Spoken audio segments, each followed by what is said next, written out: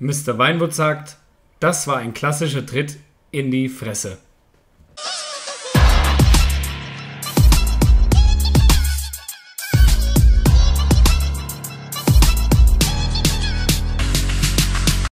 Willkommen zurück. Was geht hier auf dem Kanal von Mr. Weinwood? Ich bin gerade fett am Duschen und der Mr. Weinwood wäre natürlich nicht der einzig wahre Mr. Weinwood, wenn er nicht pünktlich zum neuen GTA Online Update mal nach Weinwood checken würde. Ich mache mich jetzt hier mal gar fertig, damit wir mal loslegen können. Ich müsste hier vielleicht sogar, wo ich das letzte Mal gespielt habe, bei mir auf meiner Yacht sein. Genau, die habe ich mir das letzte Mal rausgelassen. Ja, und bevor wieder alle meckern und mosern und sagen, hier, ja, keine Ahnung, ja, ich habe einen Unlock All, ich gebe es äh, wirklich zu, ich sage das ja auch öffentlich, ist mir irgendwie Schnuppe, sage ich mal. Hab leider arbeitstechnisch keine Zeit, immer hier ewig lang so rumzuspielen und rumzugeiern und mir wirklich die ganzen fettesten Sachen am Start zu holen und Mr. Weinwood braucht einfach immer die fettesten Sachen, die am Start sind bei GTA. Wir wandern jetzt hier mal raus und dann würde ich sagen, chillen wir uns erstmal nach oben aufs Oberdeck und dann würde ich mal mit euch gemeinsam heute zum neuen Update einfach mal gucken. Oh, finde den eigenen Ausgang hier im Boot nicht.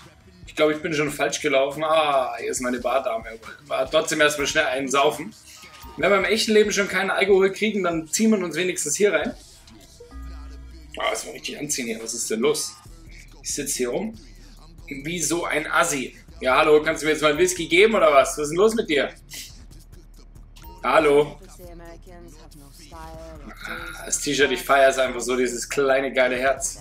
Richtig nice. So, jetzt haben wir einen gesoffen und jetzt ist es Zeit, die Millionen zu verprassen, beziehungsweise bevor wir uns irgendwas kaufen, ich werde, glaube ich, die Woche, sage ich mal so, das ein oder andere Fahrzeug, was es neu gibt, so nach und nach vorstellen. Entschuldigung, oh, Mittagessen war ein bisschen fettig wahrscheinlich. Ähm, werde ich euch mal vorstellen, was ist, was ist denn jetzt hier? Komme ich denn hier nirgends aus dem Schiff raus oder was? Bin ich blöd? Es ist doch schon der Ausgang, meine Fresse. Oh. So, auf jeden Fall nochmal von Anfang an. Ich werde jetzt erstmal ins Handy gucken und schauen, was es alles gibt. Habe auch noch keine Organisation gegründet, was ich in dem Sinn wahrscheinlich dann in den nächsten paar Videos auch machen will. Wie gesagt, Leute, Pack-Openings kommen gesichert auch wieder, aber ich möchte erstmal kurz warten, bis ein neues Update rauskommt von Call of Duty. Weil, sage ich mal, ich habe ja jetzt alles. Es ist eigentlich dann auch für euch schwachsinnig zuzugucken, wie ich immer wieder einfach nur ähm, irgendwelche Sachen ziehe, die wir sowieso schon haben. Oh, geil, Alter. Wer möchte hier? Nein, ich möchte jetzt da nicht mitmachen bei der Herausforderung. Wer möchte nicht in der Früh aufwachen und hier seine Eier schaukeln? Sagt's mir bitte. Wer sagt, dass das nicht einfach obermega fett ist? Gucken wir mal kurz, ob sie den Heli schön geputzt haben. Ja, traumhaft. So, dann starten wir mal unser gutes Handy. Gucken, ob es noch Saft hat. Und dann fangen wir einfach mal an bei Elitas Travel. Ob es da was Schönes Neues gibt. Oh, und was sehe ich da schon? Teil von Finance and Feloni. Okay, einen neuen Hubschrauber gibt es hier am Start. 2,295 Millionen Dollar. Scheiß drauf! Die schlankeste Aerodynamik auf dem Markt, mehrfach geknickte Rotorblätter, Heckrotor, wenn Sie von einem Wochen-Ketamin-Workshop zur Förderung des Teamgeistes zurückkommen, gibt es keine teurere Möglichkeit, wahnsinnig schnell mit perfektem Komfort nahezu lautlos zu reisen. Das ist die wirkliche Business Class. Nice, richtig nice. Kommen wir später dazu, werde ich mal geiern, werde ich mal fliegen im Video. Dann haben wir hier von Elitas Travel den Nimbus. Okay, da sind schöne Abdeckungen hier dabei, richtig geil. Kreativvordenker haben schon immer wieder auf den Plan gerufen. Was ist denn mit den CO2-Emissionen? Wieso soll ich meine Reisezeit quer über den Kontinent um 30 Minuten verkürzen, wenn es doch Videokonferenzen gibt? Wieso ist der Toilettendeckel aus Rie zum ach so, Rhinoceroshorn gefertigt und so weiter? Zum Glück sind die Feinde des Fortschritts völlig unhörbar, wenn sie in 40.000 Fuß Flughöhe mit ihrem Geschäftspartnern verkehren. Richtig nice auch. Schade, gibt es bestimmt vielleicht irgendwann eine Goldversion, wenn wir Glück haben. Gehen wir mal zurück. Halt, hallo. Ich jetzt gerade drauf gedrückt. Neueste Ware. Ah, hier, okay. Okay, also bei Flugzeuggeräten gibt es anscheinend nur zwei Sachen hier bei Elitas Travel. Das ist ja gar nicht so schlecht. Immerhin was. So, als nächstes möchte ich mal erstmal die Legendary Motorsport möchte ich erstmal aufheben, weil ich total geil auf die Fahrzeuge bin, auf die neuen. Dann gucken wir mal bei Warstock Catch and Carry hier rein. Brigade, Teil von Finance and Filoni. Im Leben jedes Menschen kommt einmal der Moment, wenn man mitsamt Großfamilie über 10 Tonnen empfindliche Handelsware mitten durch einen Bürgerkrieg transportieren muss. Und wenn dieser Moment kommt, gibt es nur eine Wahl. Für den Rest der Zeit hält er sich auch im Pendlerstau ganz gut. Sau nice. Sau, sau nice. Den kannst du bestimmt panzern und so. Geil. Was haben wir noch Schönes? Oh, den Cargo Bob. Sau nice. Das ist der fliegende Bus, von dem sie immer geträumt haben.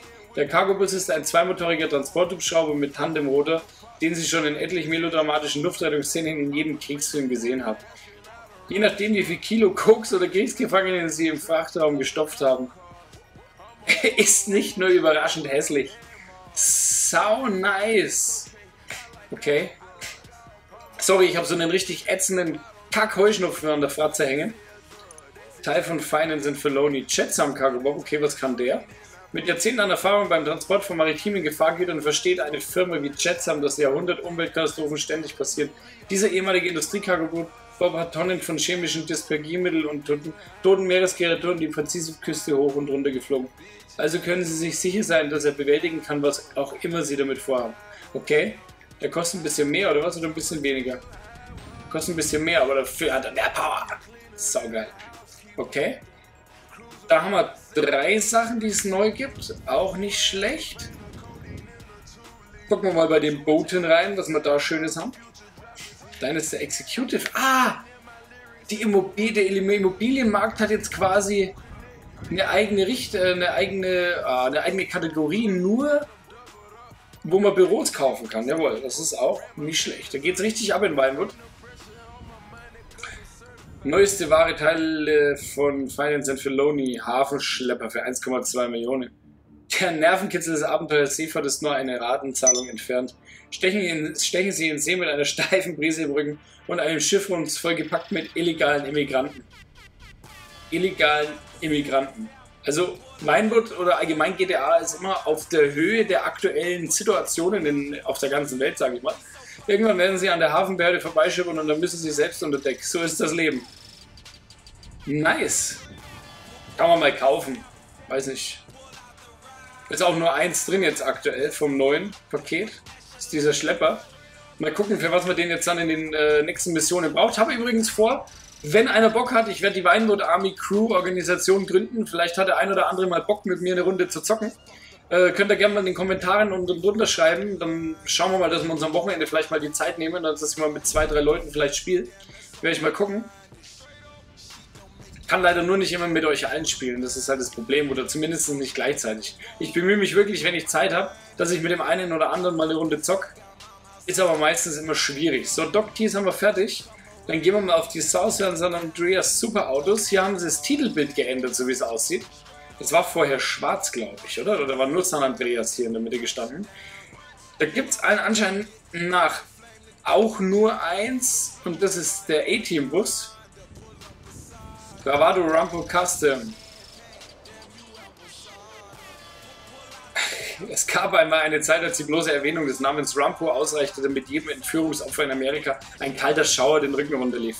Richtig nice. Kugelsichere Fenster, zusätzliche Federung und eine große Bodenfreiheit verleihen dir im Gelände Bewegungsfreiheit und in der Stadt einen Hauch paramilitärische Härte.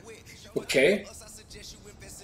Kann man mal ein bisschen auf A-Team machen, ist auch nicht verkehrt. Gut.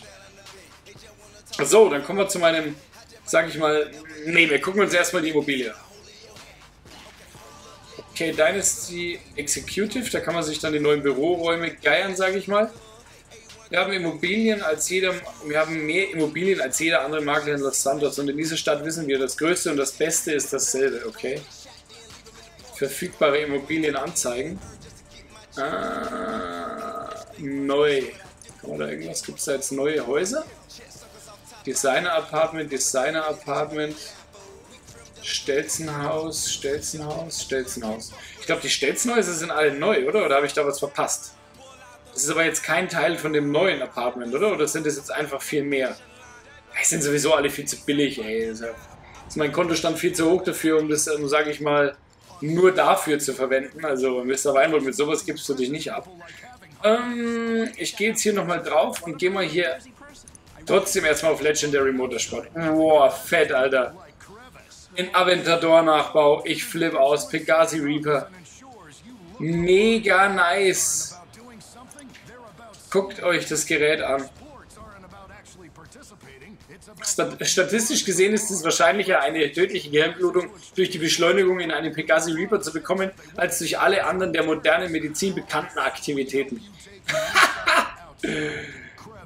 Geil, Alter, da freue ich mich schon, die ersten Runden damit zu drehen. Richtig nice. Ich glaube, mit dem werde ich vielleicht im nächsten Video auch anfangen als Vorstellung.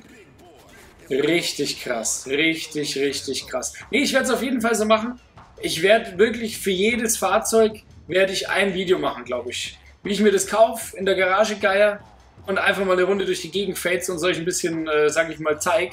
Für den einen oder anderen, der jetzt vielleicht nicht so viel Geld auf dem Konto hat bei GTA, ist es mit Sicherheit ganz schön interessant. Kann ich mir vorstellen. Tut mir leid, wenn ich was Falsches sage.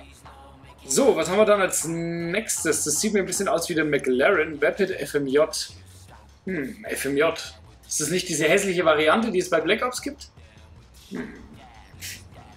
Wie man schon an der Häufigkeit von Herzversagen bei Kindern erkennen kann, war das Verhältnis von Masse zu Kraft nie Amerikas Stärke bis jetzt. Für den FMJ hat Webbit eine amerikanische Supersportwagen auf Gemüsediät gesetzt und ihm eine Darmspülung verpasst. Das Ergebnis mit der gleichen urzeitlichen Maschine und einer Karosserie, die aus 90% Kohlefasern und 90 und 10% patriotischen Gefühlen besteht, springt das Ding von 0 auf 100 mit weniger als einem leichten Niesen.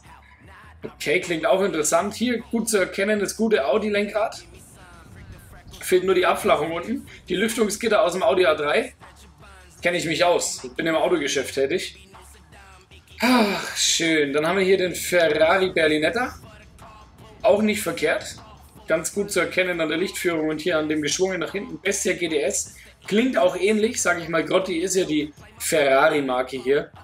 Man kann also doch alles auf einmal haben. Kraft, Klasse, Innovation mit Stammbau und gutes Aussehen mit Charakter. Der Bestia GTS verfügt über die Finesse und Wildheit eines Supersportwagens, aber ein einzigartiges Heckdesign schafft Einbauraum für zwei Rücksitze mit mehr als genug Beinfreiheit für zwei Amputierte oder die Kinder.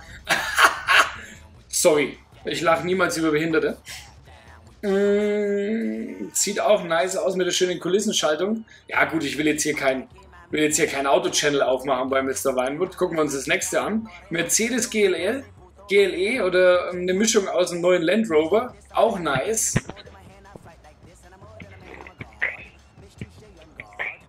Nicht, nicht schlecht, sage ich mal. Nicht, nicht schlecht. Okay, okay, okay. Standard gepanzert kann man hier sogar auswählen.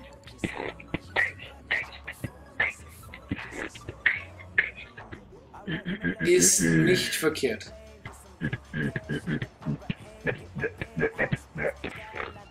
Was haben wir denn da im Hintergrund für einen drin? Kannst du dich mal muten, Junge? Das gibt's doch gar nicht. Du störst meine Aufnahme, du Kamelli. Okay. Wo ich. Ah, sorry, der gepanzerte, richtig geil auf jeden Fall. Wie gesagt, wir wollen kein Auto-Channel, mach kurz eine Vorstellung nur, damit ihr seht, was es gibt. Das ist der letzte. Der gute Rolls-Royce natürlich. Ah, vom Enos Windsor Cabriolet. Das ist natürlich mega fett. Mega geil. Einfach geil und geht eigentlich. 900.000 Dollar. Ist ja eigentlich ein richtiger Witz. Sau, sau nice. Sau, sau nice. Jetzt weiß ich natürlich nicht, ob ich so machen will, ob ich denke, jetzt gucken wir mal hier bei Bennys rein, ob die auch irgendwas Neues gekriegt haben. Ich glaube es aber allerdings nicht. Das mit den Sternen war alles schon bekannt bekannt. Sabre Turbo, wo ist denn der hin? Ah, hier, genau, Declass Sabre Turbo, okay. Ne, das war es auf jeden Fall erstmal hier mit dem Update, glaube ich. Ich hoffe, ich habe nichts vergessen. Das war zumindest jetzt erstmal die ganzen Fahrzeuge und alles. Das finde ich als Mr. Weinwood natürlich, sage ich mal, schon mega, mega nice. Mega nice. Das war also kein... Oh, fett, Alter. So, hier mache ich aber erstmal einen kleinen Cut und mache Schluss zu den Waffen und zu den, sage ich mal, Häusern und sowas es gibt, komme ich dann in der nächsten Folge. Ich lasse es jetzt erstmal so stehen. Falls ihr mal wirklich Bock habt, mit mir zu zocken, schreibt es einfach mal unten drunter in die Kommentare. Ich hoffe, das hat euch jetzt erstmal gefallen. Ich gebe euch mal noch so einen kleinen, richtig abgehobenen, krassen, ja, kannst du vergessen hier, einen kleinen rundum 360 Grad Blick von meiner mega geilen Yacht. Vielleicht hat der ein oder andere auch eine. Vielleicht können wir uns mal irgendwie hier mal im Online-Modus ein bisschen treffen, weil, wie ihr wisst, scheiß aufs Real Life. Euer Mr. Weinwood. Bis zum nächsten Video. Ciao.